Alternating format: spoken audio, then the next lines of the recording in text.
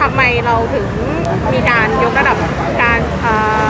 จากเยาวชนปลดแอกเป็นประชาชนปลดแอกเออเราต้องการให้ทุกภาคส่วนนะคะมีส่วนร่วมในการ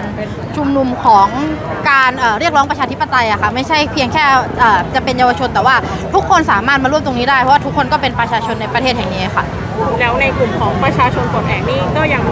คงความเป็นเออกิจเอ่อเยาวชนปลดแอกนี่ยังคงความเป็นเยาวชนปลดแอกเหมือนเดิมหรือเปเอล่าอใช่ค่ะเยาวชนปลดแอกยังคงความเป็นเยาวชนปลดแอกเหมือนเดิมแล้วก็สาภาพนักเรียนนิสิตนักศึกษาแห่งประเทศไทยเนี่ยก็ยังคงดำเนินงานในภาคส่วนของนักศึกษาต่อไปค่ะ แต่การเป็นเยาวชนปลดแอกนี่คือทุกภาคส่วนเข้ามาร่วมในกลุ่มของเราได้ใช่ไหมใช่ค่ะ ทุกคนสามารถมีส่วนร่วมใน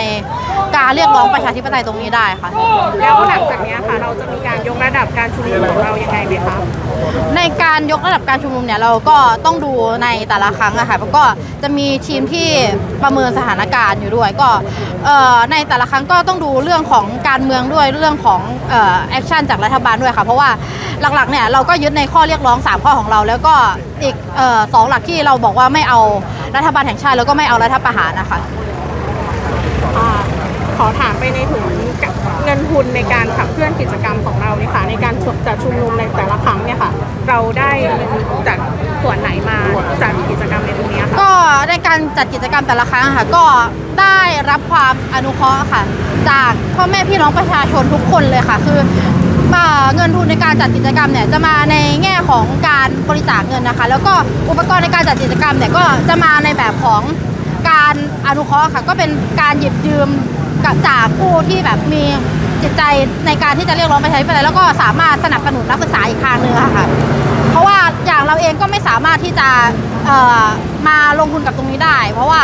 เราก็ยังเป็นนักศึกษาอยู่ไม่มีรายได้ค่ะ ก็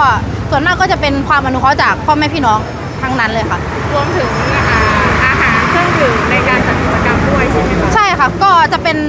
เอ่อพ่อแม่พี่น้องก็จะทำมาค่ะทำมาแล้วก็นำมาแจกในในงาน ทางเราก็มีหน้าที่แบบเอ่อตรวจสอบเอ่อหรือว่าแบบเช็คว่าใครเป็นคนเอาอาหารตรงนี้มา หรือว่าอะไรถ้าเกิดปัญหาเราก็จะได้รับผิดชอบได้ถูกจุดนะคะ แล้วในส่วนของอ่าที่เรียกว่าเป็นเงินที่ระดมทุนมา